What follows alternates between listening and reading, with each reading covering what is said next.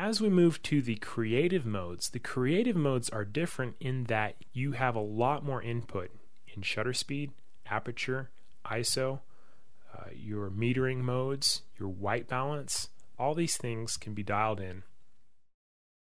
P, the P mode stands for program mode, and it is a lot like your full auto dummy mode. The difference being that you can select your ISO, you can select your white balance, you can select your metering, you can change your um, exposure compensation. It's sort of like taking the training wheels off a little bit. I don't know if you can do that, but yeah, it's like it's like you're starting to get more permission to do things with the camera. If you're still uncomfortable, the camera is going to do most of the work for you. But if if you have an idea of, you know, hey, I want this white balance instead of the automatic, or I want this ISO setting, it's going to let you do those things. So it is a full auto mode, but it lets you make some changes. The next mode you see is TV.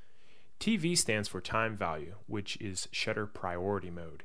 And this is unique and different. It's different than the sports mode because it allows you to also dial in slow shutter speeds. You can dial in fast shutter speeds and you can dial in really slow shutter speeds. In the TV mode or shutter priority mode, the camera wants you to tell it how fast you want the shutter speed to be. For example, if you're at a football game, I don't know, I would set mine at about 1 500th of a second. The camera will then make the adjustments for your aperture depending on how much light is coming into the camera.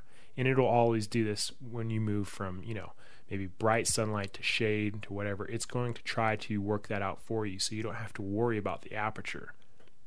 AV mode stands for aperture value or aperture priority. And in this mode, you're going to tell the camera what aperture you want it to shoot at, and it will make adjustments to the shutter speed depending on how much light is coming through the camera. I usually shoot on aperture value mode when I'm shooting weddings. If you're shooting a portrait, for example, and you want to blur the background out, um, you're going to probably want to put your aperture as wide as possible, like 2.8, 1.8, 1.4.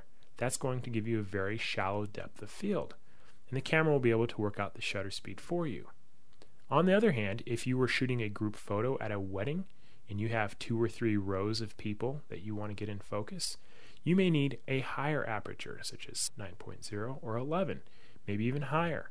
And when you tell the camera, hey, I want this aperture value, the camera will adjust the, the shutter speed for you. And this is a very powerful tool. So you have to keep in mind what you're shooting and what you're trying to do with the picture. And in these two modes, uh, time value and aperture value, the camera is going to make the adjustments for you.